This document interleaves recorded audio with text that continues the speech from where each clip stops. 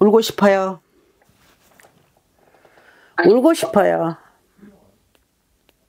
힘이 들어서. 왜 내 혼자만 이렇게 고생하고 살아야 되는지. 왜 나 혼자만 이렇게 모든 걸 내 혼자만, 어, 그, 신경을 쓰고 살아야 되는지. 맞으면 맞고 틀리면 틀리다. 네. 맞아요. 네. 작년에 네. 너무 힘들었을 텐데요. 작년에. 음.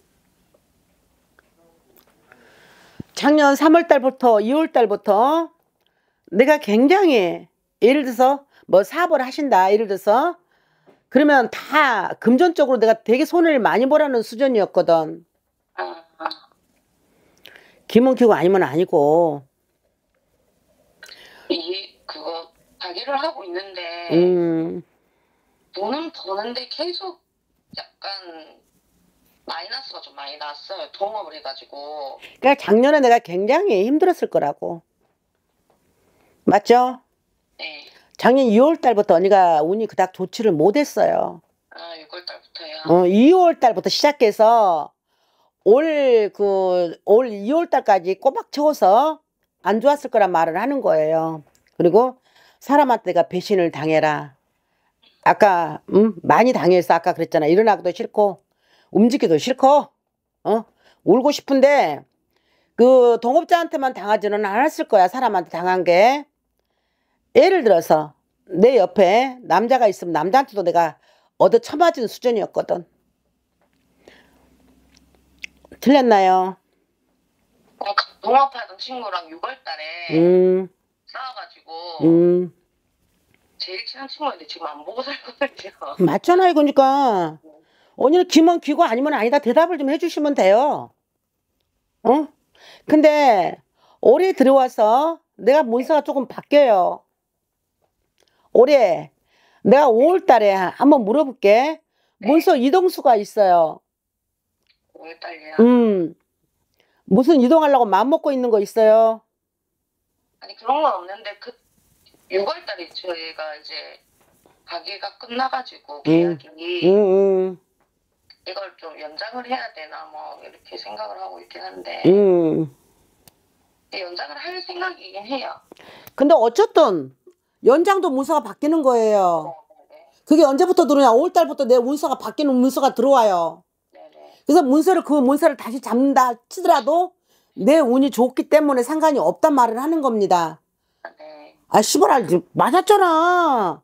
재미나게 좀 보자. 네. 어? 자다 말고 일어났어? 아니요.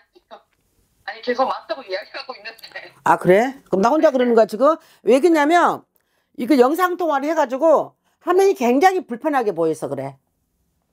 제가요. 응, 내가 영상 통화를 그냥 안 하고 봤더라면 괜찮은데 언니 얼굴이 갑, 갑자기 멈췄다가 나왔다가 멈췄다가 나왔다 보니까 굉장히 그게 신경이 쓰여. 아니 근데 제가 진짜 긴장되긴 해요. 제가 요즘에 점을 보러 가려고 막 딴 데 예약도 해놓고 하긴 했거, 했는데 음, 유튜브에 계신 분이 진짜 하니까 너무 깜짝 놀래가지고 지금 음, 깜짝 안 놀려도 되고요. 우리도 똑같은 무당이고 똑같은 사람이고요. 노트북에도 나왔다고 별반 다를 거 없습니다. 이제 긴장할 필요가 없고요. 한번 물어볼게요. 네, 맥주 냄새가 너무 많이 나요. 네.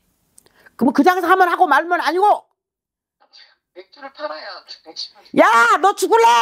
아씨. 언니, 매- 언니 입에서 네, 지금 전화 상담을 하고 있잖아. 네. 맥주 냄새가 굉장히 많이 난다고. 맞아요. 맥주 팔고 있어요. 그쵸? 네. 어? 근데 언니 사주가 손해 보고 장사를 사주는 못 돼요. 아니, 안 돼요.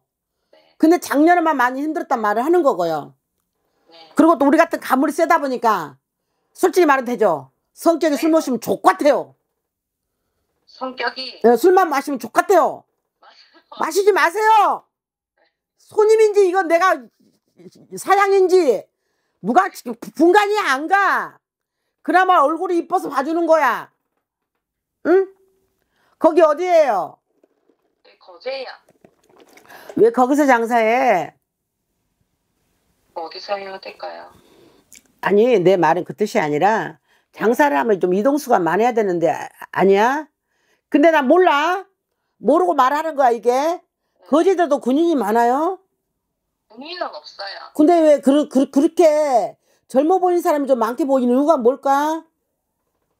조선소가 있어요 여기. 아 그래서 그렇구나. 조선소가 음. 많아요. 아 그래서 그렇구나. 거기 거기에 있어요?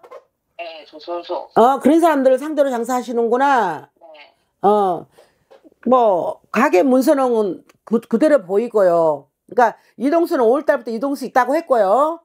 언니한테 맥주 냄새가 난다 했고요. 이왕 양주를 팔면 좋겠지만 맥주 냄새밖에 안 납니다.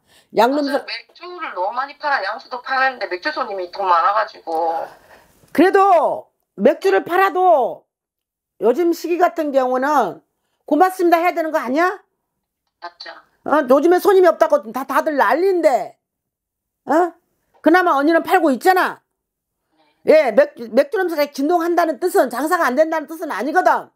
네. 응? 네. 그래서 올해부터는 괜찮아지고, 내 문서에 다시 이동의 문서도 있다. 어? 근데, 어디서 점을 봤을 때 신기했단 말을 많이 들을 거예요. 어, 네. 그쵸?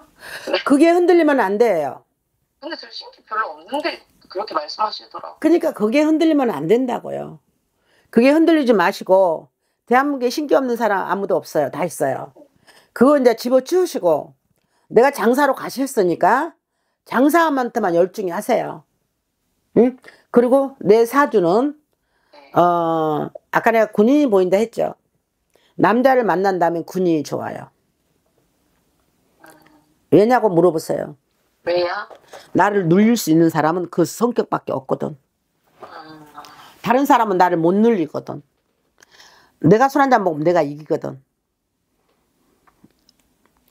저는 결혼 그런 건 안, 하- 언제 할까요? 지금 말했잖아. 내가 네 나이도 모르고 아까 그 뭐 여긴 나오겠지. 근데 내가 이거 받침을 안 받잖아. 그치? 처녀도 몰라. 그러나 남자 만난다면 했잖아. 남자 만난다면 군인 쪽 그런 그 공무원 쪽 간직을 있는 사람을 만나라고 이야기를 해주는 거야. 왜? 나의 기운을 누릴 수 있는 사주를 가지고 있는 사람이 경찰이나 공무원 사주가 나를 누릴 수가 있으니까. 그러다 보면 언니가 마음을 잡는단 말을 하는 거야. 왜? 기복이 굉장히 심한 사람이에요. 이 사주가. 알아들어요? 네. 응. 묻고 싶은 말은요. 결혼 언제 하는지 궁금했어요. 내가 한번 물어볼까요? 반대로. 반대로 한번 물어볼까요? 네. 내가 힘들 때는 결혼하고 싶은 마음이 있다가도 내가 조금 괜찮아지면 결혼하고 싶은 마음이 나한테는 안 들어와요. 그닥. 지금은. 어, 응. 틀렸다고 말하지 마세요. 이게 당신 마음입니다. 맞아요. 그 맞죠? 네. 그러니까 쓸데없는 걸로 무단 기빼지 마시고요.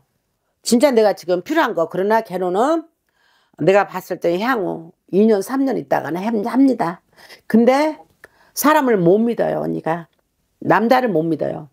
지쳐서 질려서 뭔 말인지 알죠? 남자 지금까지 사귀었던 사람이 언니한테 믿음을 준 사람이 하나도 없어요. 어, 어, 굉장히, 아까 그랬죠. 굉장히 처음엔 잘해줄 것처럼 하지, 하지만은 만난 사람마다 나 등쳐먹고 도망가요. 어, 그러다 보니까 이 삶이 슬픈 삶이 돼버린 거예요. 그러나 2, 3년 있다가 만난 사람은 내 배필이에요. 그러니까 그때까지 힘내시고요. 음. 네. 또 물어보고 싶은 말. 저 아기는 낳을 수 있죠. 나이가 많아도. 아기는 하나 보여요.